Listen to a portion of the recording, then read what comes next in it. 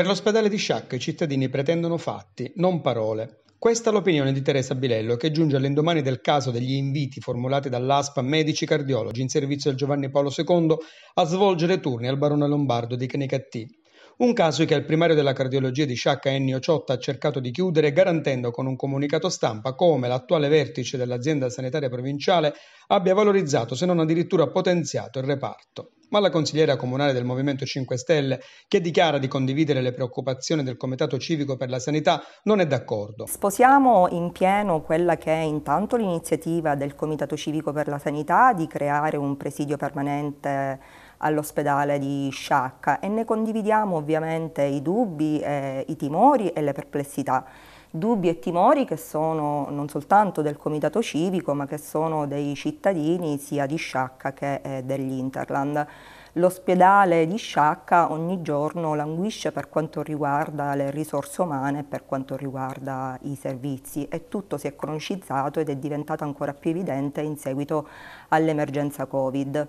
Quindi lei sta facendo notare che la situazione era già difficile prima che scoppiasse l'emergenza. era già difficile, era già e anche questo ritorno alla no, al, in precedenza. Anche questo ritorno ai, alla riattivazione dei servizi precedenti particolarmente, va particolarmente a rilento? Va particolarmente a rilento nonostante le rassicurazioni che spesso vengono date a mezzo stampa, quindi eh, si diano risposte eh, definitivamente eh, concrete e tangibili, eh, perché le rassicurazioni non bastano più, perché i cittadini sono allarmati e pretendono delle risposte certe. Eppure, osserva Teresa Bilello, quando in passato a Sciacca, proprio in cardiologia ed emodinamica, c'erano pochi medici, nessuno dell'ASPE si era posto il problema, mentre ora, anziché trovare soluzioni alternative, si è deciso di usare le professionalità del nostro presidio ospedaliero.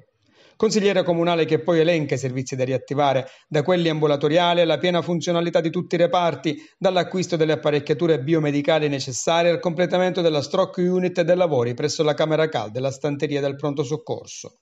E ancora ha chiesto l'incremento di personale medico, infermieristico, ausiliario, la risoluzione definitiva dell'atavico problema delle zanzare e l'istituzione del servizio H24 del centralino. E per quanto riguarda la richiesta un, della nomina di un nuovo direttore generale, lei la considera una cosa importante rispetto al fatto che magari un direttore facente funzioni non è in grado di programmare? No, assolutamente prioritaria.